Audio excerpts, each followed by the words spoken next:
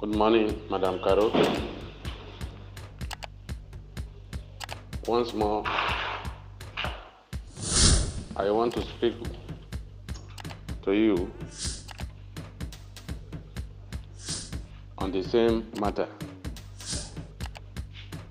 which is UAAG grant disbursement.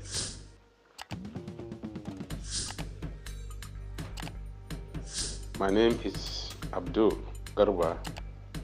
I'm speaking from Idah in Kogi State.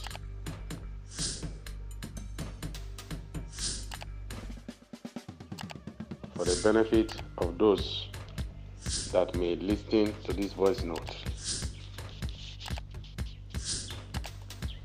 I want to give you more analysis because of the voice note of Obiwagbo and Ambassador Dr. Ken Nwakama he posted in Ife Onye outlet and uh, Estimo UAG support group. You see, Madam, there are a lot of things that are being hidden by both parties. I mean, the UAAG camp and the AP, APGPN camp. Those are the major contenders, perceived major contenders by the public now. None of them is telling the complete truth. Because at one point or the other, they have involved themselves. In other words, none of them is saint. It's only the degree of involvement that is higher. But for anybody to claim that he never deceived anybody, he never did this, he never collect this, he never this, I can give a vivid account of what happened after is a lie. Let us be very frank to ourselves. In the first place, these are my analysis. In the first place, there is nothing that you, there's nothing like UAAG. If UAAG existed, existed, it was put up for the reason of what has happened. Many people were scammed, defrauded. What is the real thing that existed? The real thing that existed is UAS grant. Who is the mastermind of this UAS grant? Is late Professor Brahmi. Take note of all these points that I'm making and forget about what Apostle Paul, what the EGPN, what all this one they are saying. They know the truth. Who is the mastermind of UAS grant? Is late Professor Brahmi, that man from Edo State. He was the president and chief, he was the president of the UAS. This is the man that was the brain, the mastermind of that money. Who was the facilitator of this UAS grant to come to Nigeria? The facilitator was late Beatrice Umbu Odudu, aka Mama Rita. She is or was the facilitator of this UAS grant. How? Professor Brahmi saw the condition of Nigerians and wanted to help use his position as the president of UAS. Sought for this money, but for this money to come to Nigeria, this is where Beatrice Umbua Odudu come inside or came inside.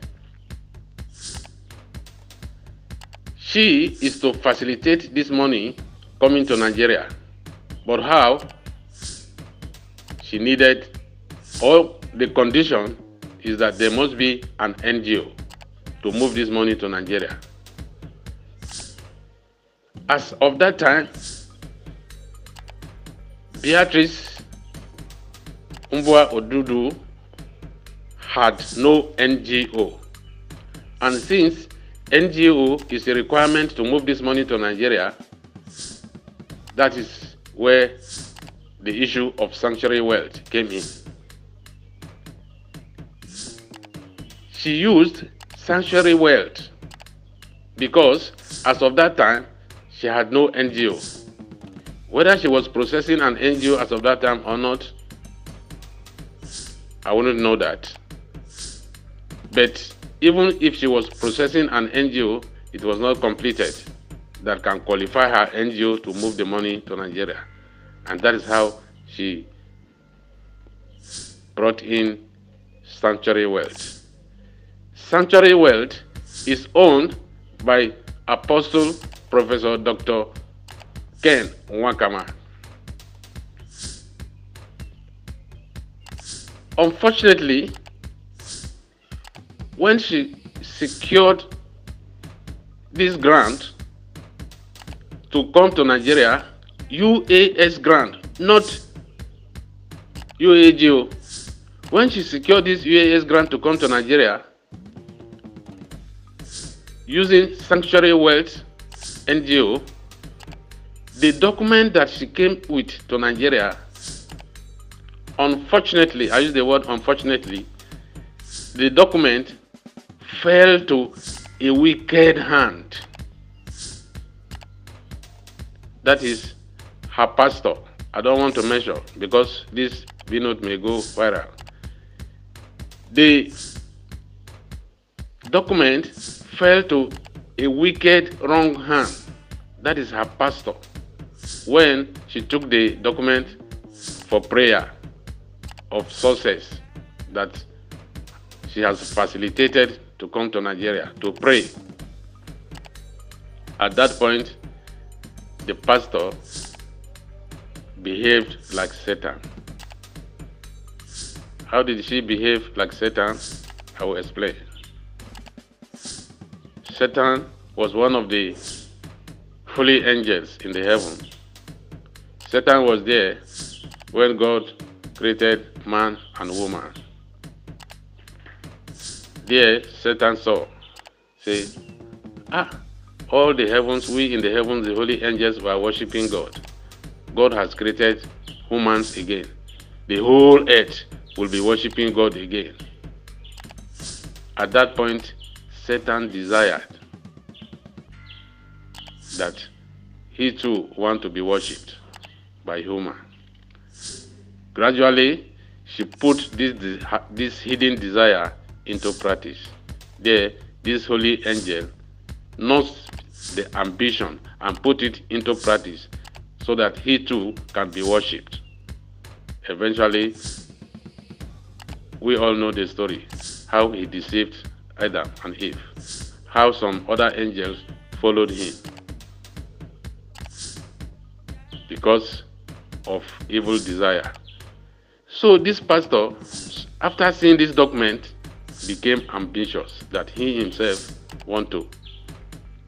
I'm sure you know some part of the story, what happened. Well, it was speculated that late Mrs. Beatrice Umbu Odudua's death was mysterious. Let us not go to that aspect of it. UAS grant that was facilitated by this late woman came to Nigeria with the condition that an NGO will disburse this grant and the project. The condition of UAS grant is 20% for grants. The remaining percentage of the money will be for projects across the 36 states of Nigeria and federal capital, down to the lo all local government and ward levels. That has been the project. That has been the condition that that money was released. Why I said they are all not speaking the truth, especially Apostle Ken Nwakama, and to some extent APGN, is this. They know that that grant, 80% of it is for project and only 20% is for grant, cash to Nigerians.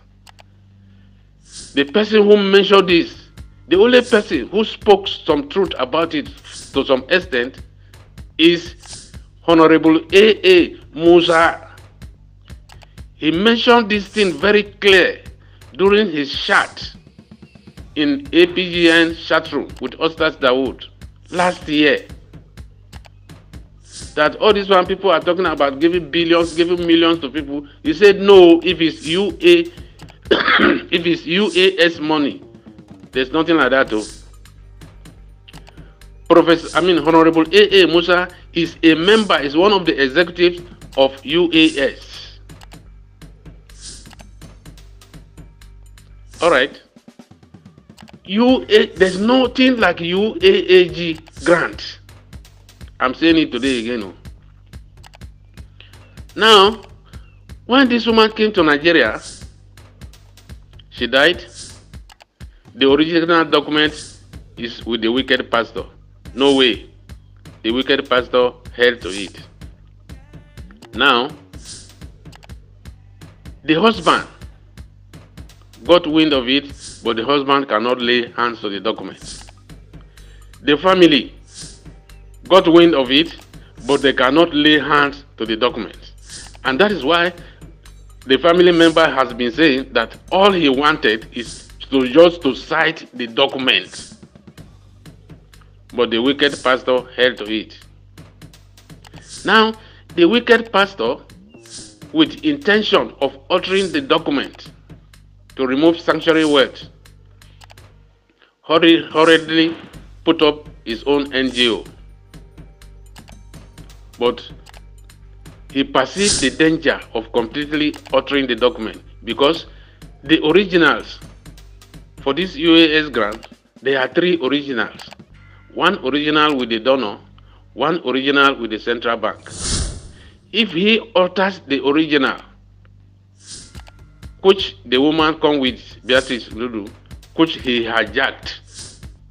If he altered the original, it become a very dangerous game for him because other originals will be traced. Automatically, it is a matter of jail matter, and that's why he never presented that document. Up to tomorrow, he has not presented it before anybody. What would have been the solution. What happened is pride. Had it been the families of Beatrice Odua, Odudua came into negotiation and meeting with the husband, how do we solve this problem? They would have also brought in the person whose name was on the document that brought the money into Nigeria, which NGO, that is Sanctuary Well. Whether you say Sanctuary Well, whether you say Ken Nwakama is the same thing. Even if it's only Sanctuary Wealth on the document, somebody owns the Sanctuary Wealth, and who owns the Sanctuary Wealth is Ken Nwakama, even if his name is not mentioned there. If the three of them would have come together say this is how let's pursue one agenda the family the husband and sanctuary wealth. Maybe by now we would not have been saying what we are saying. So keep agpgn out of it.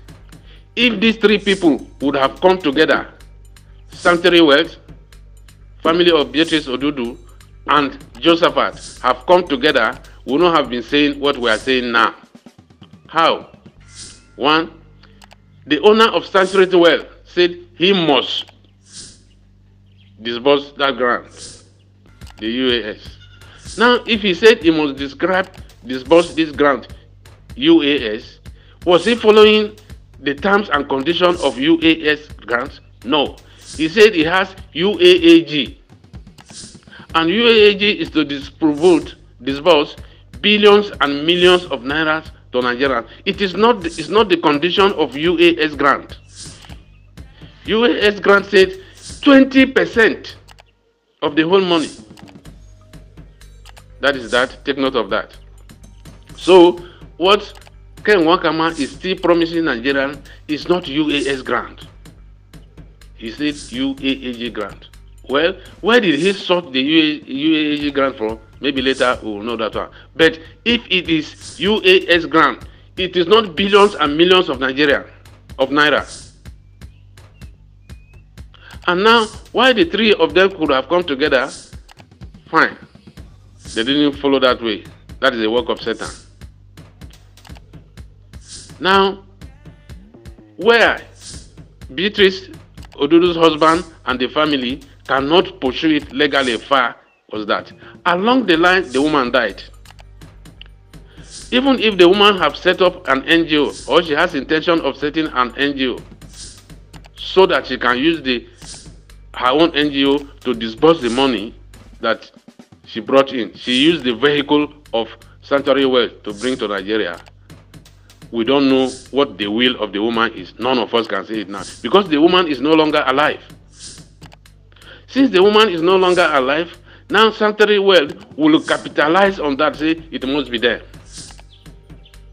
And now the family or the husband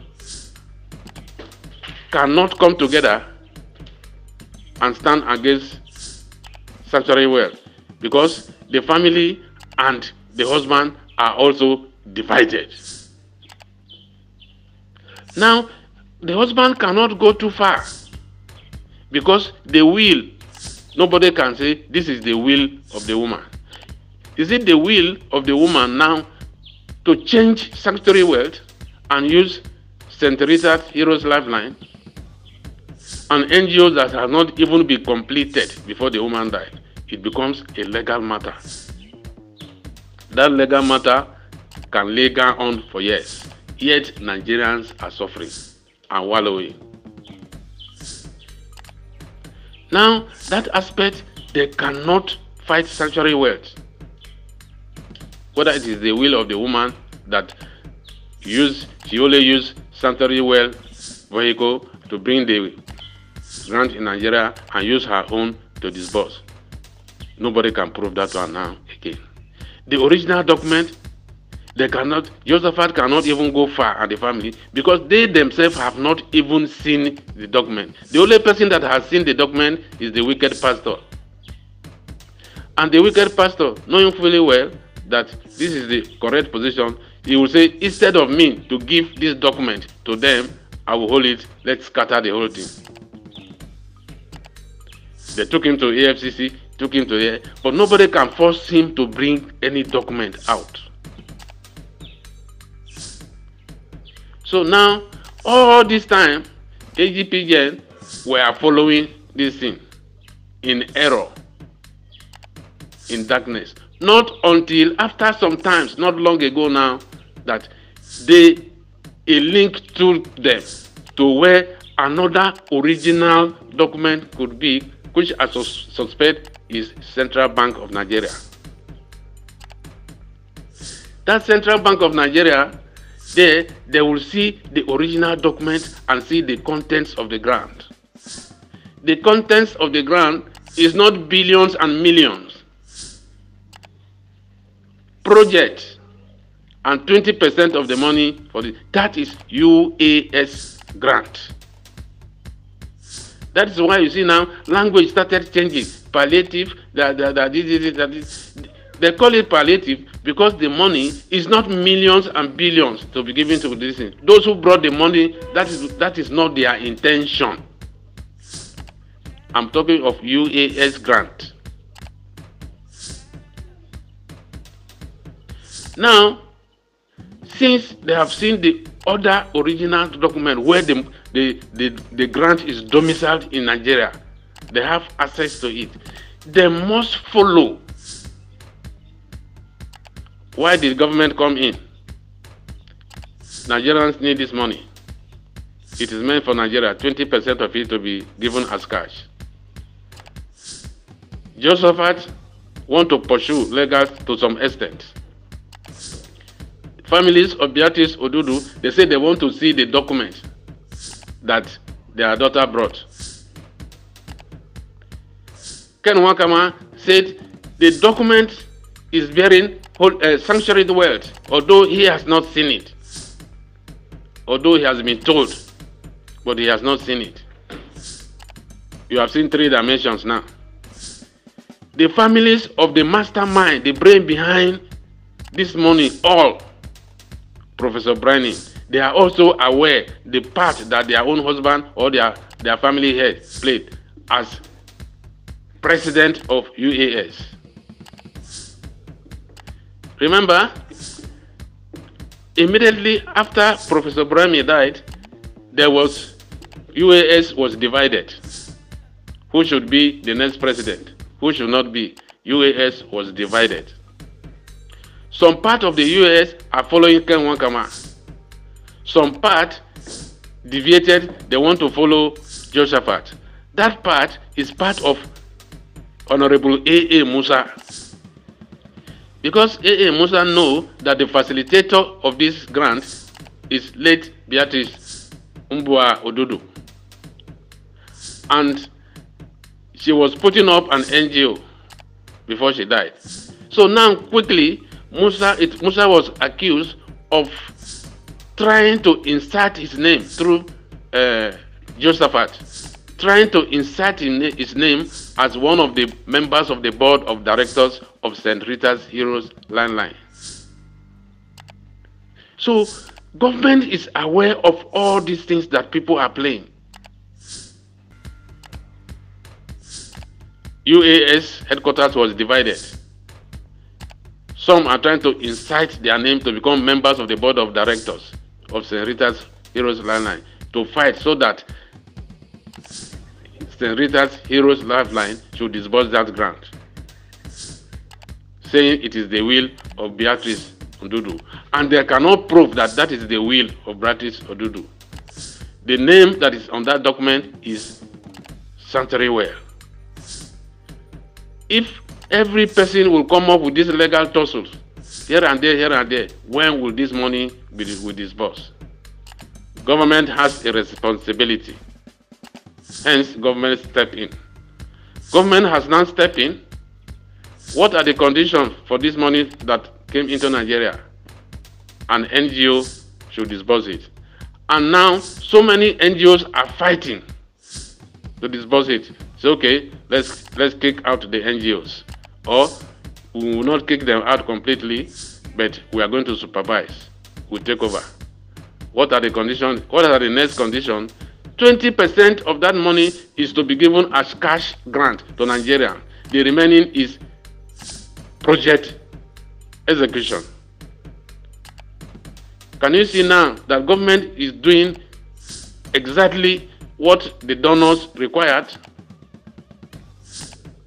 All this one that they are talking, eh, uh, the money to leave Nigerians. Uh, I'm, uh, everybody know that I'm very, I'm not, I don't put my hand in things. I've spent a lot of money. I have done this one, and if you give me chance, I will deliver this uh, grant in one week. Uh, if this one is that, I'm not siding any person. No. I'm telling you the truth.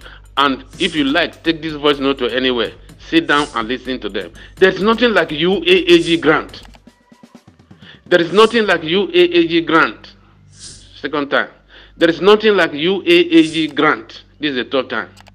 That, that is the much that I know. But I am aware that there is UAS grant.